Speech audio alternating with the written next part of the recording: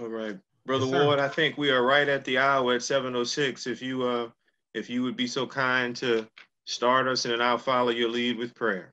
Yes, brothers, it's always good to be with you, and I hope you all have had a, a wonderful and safe and blessed week. I always look forward to these Wednesday sessions where we can come together and pray and thank God for his continued grace and mercy. So it's always an honor to be with you. I would ask tonight that we really keep in prayer the family of Brother Al Edwards, former state legislator from the state of Texas, was a dear friend and someone that I served with on the Democratic National Committee, but a good Alpha brother that we lost. Uh, and so we can just keep he and his family in prayer. So with that, brothers, it's always good to see you and uh, look forward to us being together face to face very soon. Amen. Thank you so much, Brother Ward. I want to begin um, with a pastoral prayer uh, before we tender to Brother Mark Anthony uh, for song. So if you'll join me now, heads are bowed, eyes are closed. Precious and wonderful God, hallowed be your name. God, once again, we count it a joy to come before you, notwithstanding our circumstances, but we come before you blessed and highly favored as your children. We are thankful, dear God, that you are God all by yourself. We are thankful for all you've done in our past. We're thankful, dear God, with optimism as we look forward to the future. But we also are thankful, dear God, in the moment called now. We come before you as a body of believers and as the brothers of Alpha Phi Alpha. We pray, dear God, for our fraternity's leadership, lifting up the current leadership, lifting up past leadership, and lifting up, dear God, leadership that is to come. We also offer special prayers now, dear God, for our brother departed and called home to be with you, the Honorable Al Edwards, a representative from Texas, dear God, who served with distinction. We are thankful for the legacy that he leaves, and we pray, dear God, that that legacy will live on. We also pray, dear God, for all those who have been affected by the coronavirus in our ranks and all those who have been called to transition from the church militant to the church triumphant. We recognize that you are able, and dear God, you are worthy to be praised. So we pray for those who have been affected, and we pray, dear God, for areas that have been affected, for members of our fraternity and those who are not members of the fraternity, because we count them our brothers and our sisters as part of humanity. So, dear God, for geographic areas like New York, like New Orleans, like Detroit, and other areas that have been so disproportionately affected, dear God, recognizing that healthcare should be a right in the United States of America because of so many past practices and habits, dear God. African Americans are still fighting from behind. So, as our community is so disproportionately affected, as our community is so adversely affected, we ask that you will show up and show out, dear God, as you always have, because all by yourself, you are able. We love you. We praise you. We ask you to bless all of our members. We ask you to bless all of the families of our members. We ask you to bless humanity. And we know, dear God, that you will bring us through this tough time because you've brought us through so many tough times in the past. We praise you. We love you. And most importantly, right now, dear God, we take this opportunity simply to say thank you. Now, these and all of the blessings we ask in the perfect, the precious, the matchless, and the marvelous name of your Son and our Savior. Amen. Amen. We are delighted today to have um, Brother Mark Anthony Henry with us. Uh, brother Henry, a wonderful Alpha brother, is uh, the director of the New York City Gospel Choir. Uh, that means he has some very special talents, and uh, we are delighted that he has agreed to share with us his gifts and songs. So, Brother Henry, I tender to you and I say thank you for being with us. God bless you, brother. I am on the battlefield for my Lord. Yes, I'm on the battlefield for my Lord. When I promised him that I, I would serve him till I die, and I'm on the battlefield.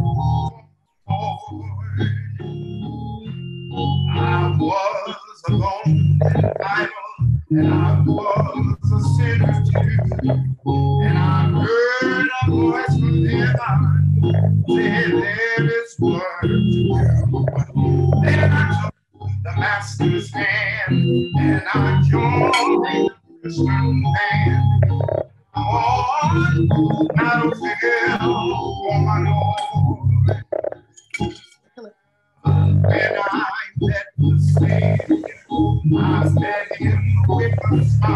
Terima kasih.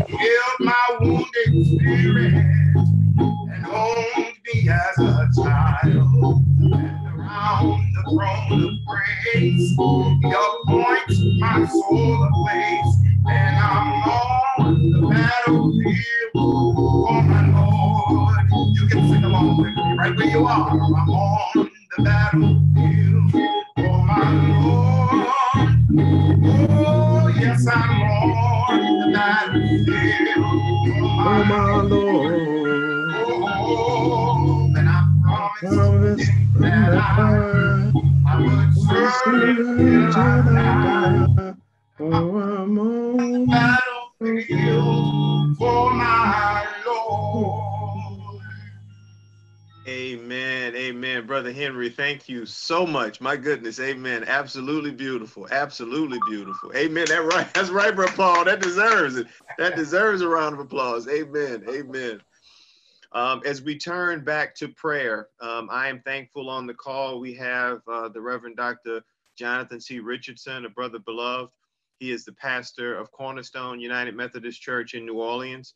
Uh, we all are aware that New Orleans is one of those areas uh, uh, we've hosted so many general conventions in New Orleans. I'm just going to assume that just about every brother here has been to New Orleans, but it's one of America's favorite cities, and it is unfortunately a city that's being disproportionately affected uh, statistically by the coronavirus. So, uh, brother Dr. Richardson, if you would be kind enough to leave us, lead us rather in prayer, brother, we're thankful to have you.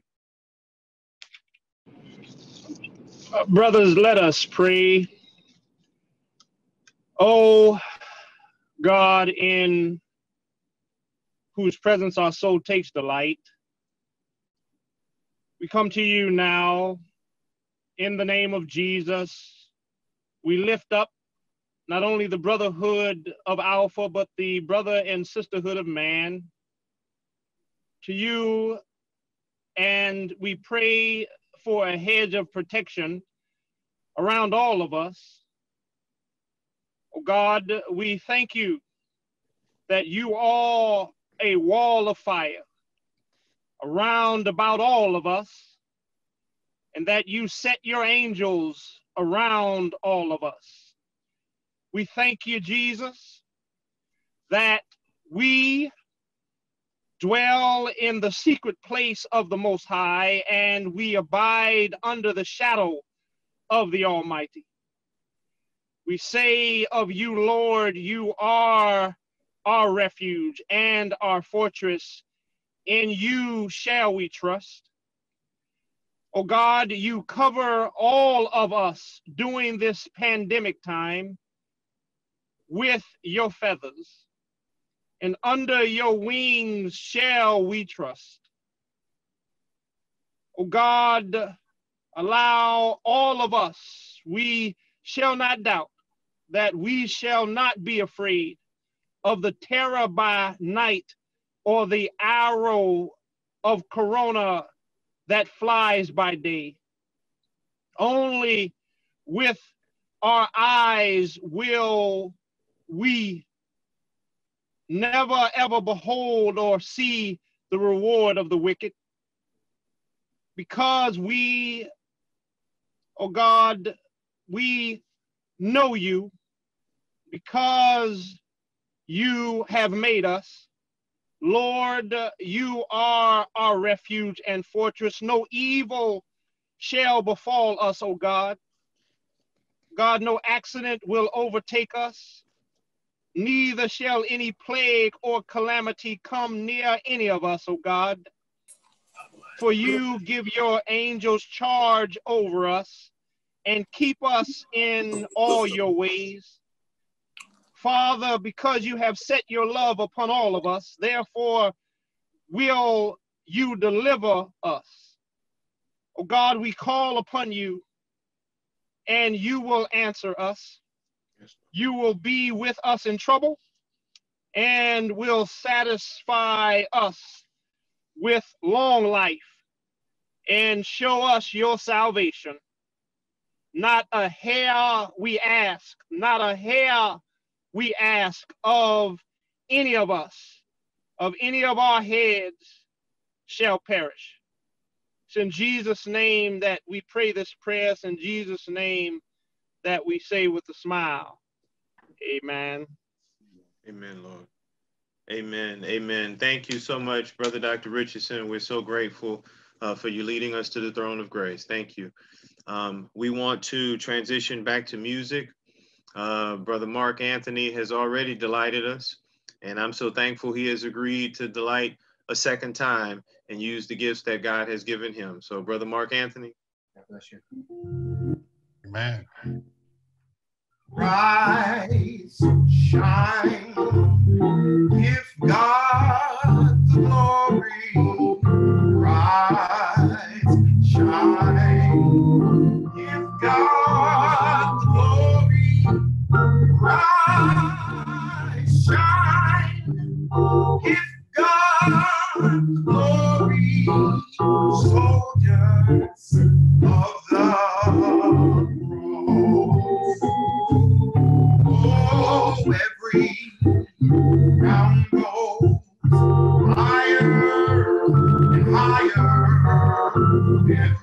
round goes higher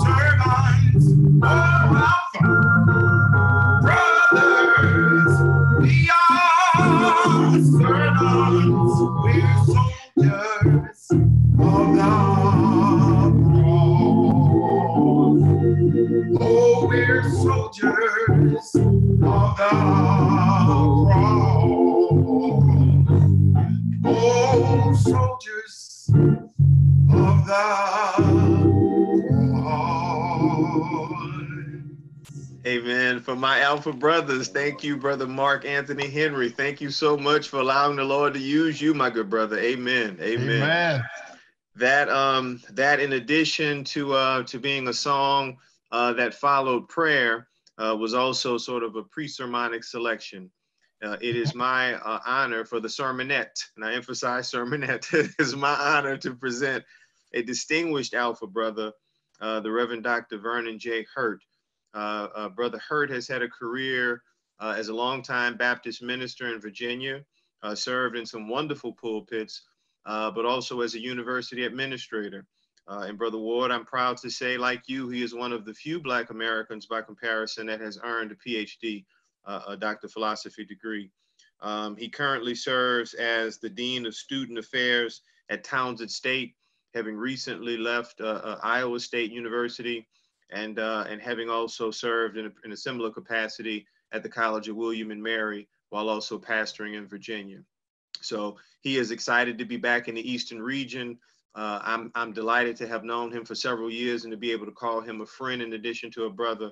So Dr. Hurte, thank you so much for agreeing to share with us words of encouragement. God bless you, dear brother.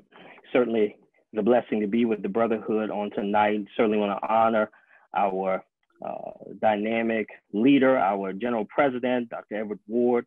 Uh, we praise God for your presence and uh, grateful to my brother, uh, brother Dr. J. Augustine, our national chaplain, for the invitation to serve tonight, and all the brothers who have served and all the brothers who have gathered tonight. We're certainly grateful to be together. I want to call your attention for just a few moments to a familiar passage of scripture, the Psalm found in the Gospel of Matthew, chapter number 11, verses 28 through 30. From today's New International Version, it reads this way Come to me, all you who are weary and burdened, and I will give you rest. Take my yoke upon you and learn from me, for I am gentle and humble in heart, and you will find rest for your souls. for my yoke is easy and my burden is light. So tonight I want to uh, challenge us with this word uh, from the thought, the ministry of rest. The ministry of rest. The rest for us, particularly as alpha men, uh, it's a it's a concept that is sometimes elusive uh, because we are men of leadership. We are men who are energizing the way forward.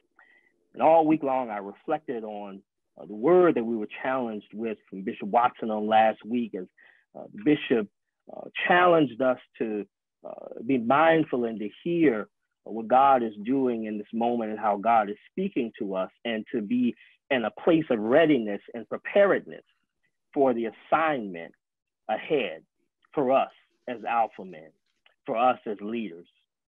And I reflected on uh, this idea of hearing, but also this idea of preparation. As I reflected on that, God challenged me to challenge us tonight that part of our preparation as leaders, part of our preparation as men, part of our preparation as those who are called to move society, the country, the, even the world forward, that part of our preparation in this season must include the ministry of rest. Rest is an instant or period of relaxing or ceasing to engage in strenuous or stressful activity. It's hard, particularly in times like this, in challenging moments, to uh, embrace this concept of rest. But, beloved, as we look all around us, when we look at particularly experiences of us as uh, Black men, uh, the impact that these moments, the impact that the stress and anxiety of this moment is having on so many of us. I believe God is calling us, particularly as leaders, to invest in the ministry, to exercise the ministry of rest in order for us to be prepared to do what Bishop Watson challenged us on last week, to hear and respond to the very call of God as we move into this next season. I was challenged to embrace this concept uh, as I studied as a seminarian the work of Dr. Kirk Byron Jones, who wrote the book Rest in the Storm. It was Dr. Jones who uh, talked about this pervasive form, uh, contemporary form of self violence that we often don't allow ourselves to be uh, strengthened, to be uh, lifted up, to be embraced by the power of God, the presence of God, the very peace of God, so that we can be equipped and energized for the assignment that God has placed on our lives. As I think about this ministry of, of rest, I think about this passage of scripture that has arrested our attention tonight because Jesus himself understood how the importance of exercising the ministry of rest has on our leadership, has on our ability to move the work forward. Why Jesus understood that sometimes the faithful will become heavy laden. And in those moments, we're called to exercise the ministry of rest. Why, that's why Jesus says in Matthew chapter 11, 28 through 30, Come to me, all who are weary and burdened, and I will give you rest. Take my yoke upon you and learn from me, for I am gentle, humble in heart, and you will find rest for your souls. For my yoke is easy and my burden is light. Beloved, we're living in a challenging time, but one that is purpose filled. And I'm convinced that for many of us, God is using this moment to command us to exercise the ministry of rest. And it's here in Matthew chapter 11 that Jesus gives us the formula for exercising the ministry of rest. It's pretty simple, and pretty basic. For Jesus simply commands us to come, to connect, and to copy. Mm. Watch the text because the first thing Jesus teaches us is that exercising the ministry of rest requires that we come to Him. Jesus says, Come to me, all who are weary and burdened, and I will give you rest. Beloved, spiritual rest is a gift that is given by God, but we have the responsibility to come to Jesus in order to experience it. See, one of the reasons that many of us fail to get in that space of spiritual rest is that we believe the power to experience that type of rest lies in the hands other than our own. Rest itself is a gift from God. However, the ability to experience it lies in our hands. The challenge for us today is where are we? Have we made it a priority to come to Jesus? And I don't mean a physical space, I mean a spiritual space, I mean a mental space. We need to be in the space where Christ is so that we can hear his voice, so that we can be strengthened, that we can have that peace that surpasses all understanding, even in the midst of a pandemic. Where are you today? Are you dwelling in your own space? Are you making it a priority to come into the space where Christ is dwelling? It's a choice that we've got to make. And one of the keys to experiencing rest is making sure that we're where Jesus is. Jesus said, Come to me, all who are weary and burdened, and I will give you rest. But not only are we challenged to come to Jesus, but then Jesus also challenges us to be connected. There's a difference between coming mm. and connection. Jesus said, Come to me, all who are weary and burdened, and I will give you rest. But then Jesus says, Take my yoke upon you. The idea of putting on a yoke doesn't sound restful to me. If you're not familiar with a yoke, it's a wooden cross piece that is fastened over the necks of two animals and attached to the plow or cart that they are to pull. It's like a harness that's made for two. Jesus said, You've got to take on my yoke if you want to experience rest. That seems real interesting in that this tool that's designed for work is also a tool that allows us to rest. So even in the midst of our leadership, even in the midst of our call to move the work forward, to lead our communities, our families, even the world, God is challenging us that in the midst of that work, we've also got to invest in the ministry of rest. And in order to do that, we've got to be yoked up with Christ. We have to be connected Christ because the reality is Jesus has already done the heavy lifting. And our ability to live and exercise the ministry of rest is grounded in our willingness to both come to Christ, but also to be yoked up, to be connected with Christ. Who are you connected with today? How are you finding ways to remain connected to Jesus. It's not just enough to come to him, but we've got to also connect with him. True spirit to go where Jesus is and don't just be there, but be connected, be yoked with him. You may be asking yourself, how is this possible? Well, it's possible because Jesus is saying that when you're connected to me and when you're yoked up to me, you're working, but you're never doing hard work. Jesus said, I've taken care of all of the, the heavy lifting, the really hard work. Jesus is reminding us that we run the risk of becoming weary in seasons like this when we do the well doing without Him.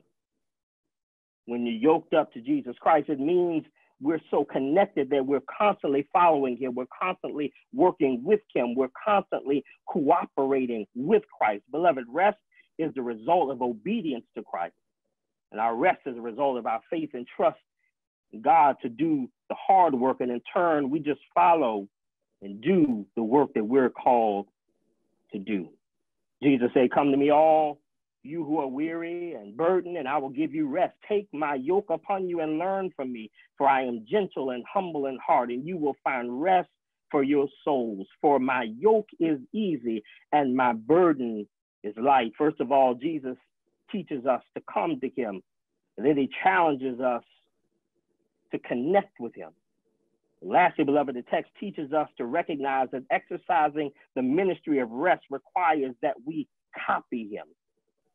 In other words, we have to follow the very example of Christ. There are two powerful moments in the life and ministry of Jesus that I believe gives us examples to follow when it comes to the ministry of rest. The first we find in Mark chapter 6, Jesus and the disciples had been on a ministry marathon after touching so many lives and working hard in their assignments. Jesus provides them with some life giving instructions. In chapter 6, verses 30 through 32, the Bible says the apostles gathered around Jesus and reported to him all that they had done and taught. then, then because so many people were coming and going that they did not even have a chance to eat, he said to them, Come with me by yourselves to a quiet place and get some rest. So they went away by themselves in a boat to a solitary place. We need to copy Jesus' okayness with exercising the ministry of rest from time to time. And it could it be that part of the purpose of this moment for some of us to sit down, mm. to get alone by ourselves, and learn how to exercise the ministry of rest, even as we lead, even as we push the agenda forward and the work forward. Sometimes God is calling us to pause and exercise the ministry of rest. And when we do that, we're copying the very example of Jesus. The last experience is one that all of the synoptic writers, Matthew, Mark, and Luke, tell us about. It was a moment in the ministry of Jesus where he and his disciples found themselves in the midst of the storm. And some might say that we're in the midst of a storm right now. Mm. The wind was raging and the waves were high, so the water was beginning to fill the boat. Yet, in the midst of all of this, Jesus was chilling in the back of the boat, asleep. Beloved, we're in midst of a challenging season, and you may be asking yourself, how in the world can we rest in a time like this? Well, as I close, I believe a songwriter penned some words that reflected the truth why Jesus was and why we're able to rest in the midst of such challenging times. For the songwriter declared, Because the Lord is my shepherd, I have everything I need. He lets me rest in the meadow's grass, and He leads me beside the quiet stream. He restores my failing hands and helps me to do what honors Him the most. That's why I'm safe. That's why I'm safe. I'm safe in his arms when the storm of life is raging and the billows roll. So glad he shall hide me safe in his arms. And brothers, I don't know about you, but I'm glad that I can say I'm in his arms because there's love in his arms. There's peace in his arms. There's joy in his arms. There's protection in his arms. And I declare that if we allow ourselves to rest in the arms of God, God will see us through God will strengthen us and encourage us in the journey. We'll be rested, rejuvenated, prepared with new strength to lead our families, to lead our communities, to lead this country, to lead this world into the season ahead. God bless you. Amen. Amen. Thank you, Brother Hurte. My dear brother, thank you so much for the blessing. My God, thank you for the blessing.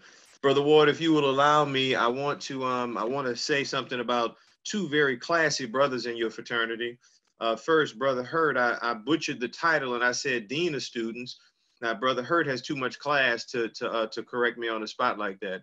Um, uh, I guess he said somebody else would do that for him. Uh, that was that was probably two jobs ago. Brother Hurte is the vice president of student affairs at Towson State. And the person that did the correcting, of course, is our chief protocol officer, brother brother Schamberger, who used to work with him at Iowa State. So he was he sent me a text text message. I said, I'm gonna be sure to correct this with everybody. I just I thank both of you all for that.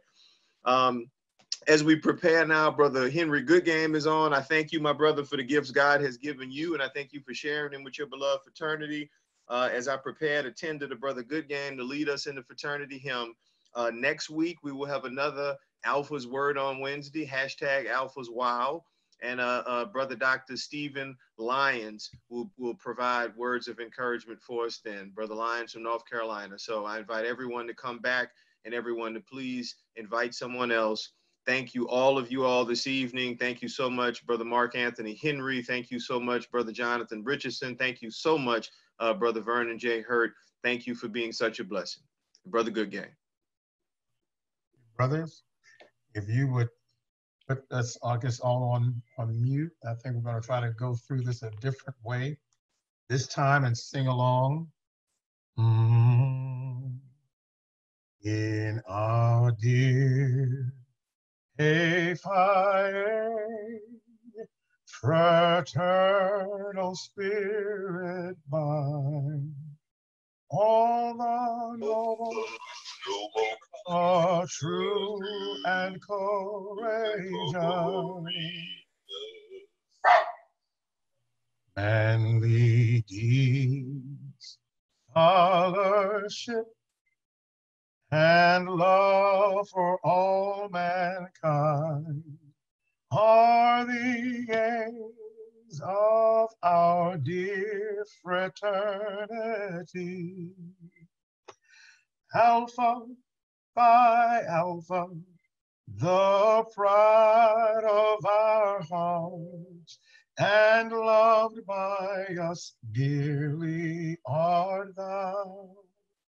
We cherish thy precepts, thy banner shall be raised to thy glory, thy honor and renown.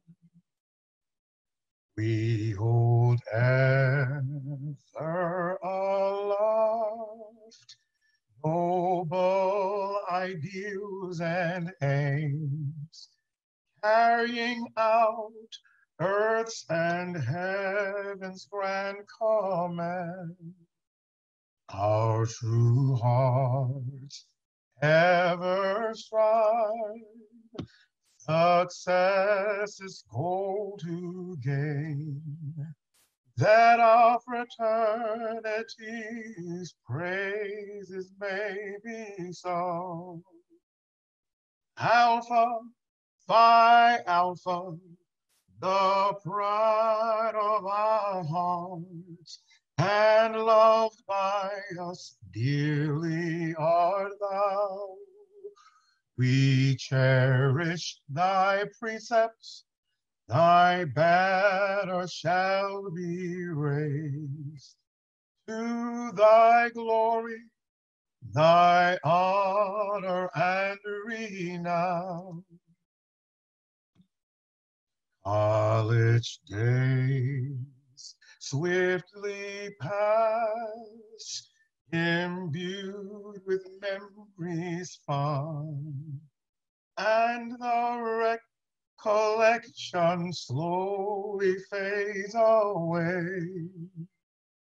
Our true hearts ever strive, and dear fraternal bond, may they ever abide and with us stay. Sing it, brothers. Alpha, Phi Alpha, the pride of our hearts, and loved by us dearly art thou. We cherish thy precepts, thy banner shall be raised To thy glory, thy honor and renown. All together, brothers. Oh Lord, Oh Lord, may the may the true spirit of eternity, rule our our hearts, hearts, guide our thoughts, and control our lives, so that we, so that may, we become, may become through through thee. thee. Servants of servants of all. Come. Man, Amen. Amen. Amen. Amen. Thank you, brothers, all so much. God bless you. God keep you. I pray God's blessings on each and every one of you and on your families. Thank you so, so much. Thank you, sir. man, God thank bless. you, brother. All right. God bless you all. God bless. Great one, brothers. Amen. Amen. Thank you, brother Henry. Sir.